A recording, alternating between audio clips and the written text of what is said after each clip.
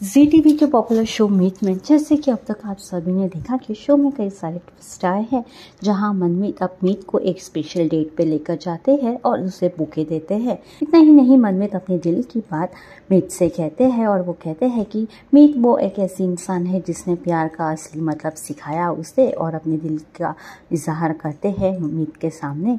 अब देखना ये है कि शो में क्या नया ट्विस्ट आएगा। पहले मैंने लगता था कि मैंने सगुन पे प्यार है। और फिर मुझे एहसास हुआ कि वो तो सिर्फ़ लगाव है भाई।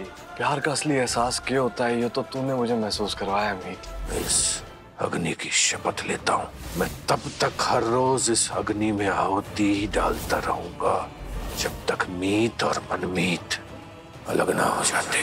तो तेरा मनमीत सांगवान तेरे ते प्यार करता है। आई लव यू ढेर सारा।